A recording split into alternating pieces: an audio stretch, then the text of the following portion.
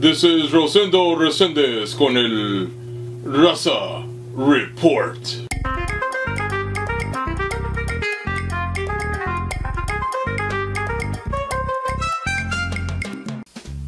Today's Raza Report takes us to South Texas, where you know your friends are Raza if they drop you off in front of your house instead of inside of your house when you are drunk.